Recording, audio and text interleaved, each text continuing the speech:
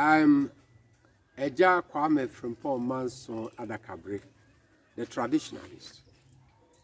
Today, I'm going to talk about what you see in my hands. In the Twi language of Ghana, we call it meya. Today, I'm going to talk about combination of this plant and nutmeg. In the scientific name, they call it fern.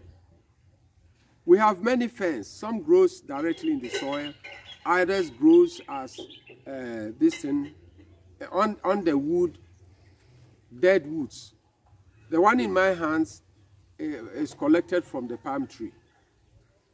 The live palm tree and the dead palm tree, all of them bears these plants. You can use this to treat ulcer by washing it nice, cooking it with water, and then drinking it copiously to heal your ulcer in the stomach. But today I'm going to delve into the spiritual aspect of it. Just collect this as you got plenty, more than what I have in my hand. Mash it in a bucket of water. Add nutmeg, a crushed nutmeg. Crush the nutmeg, ground it into a smooth paste.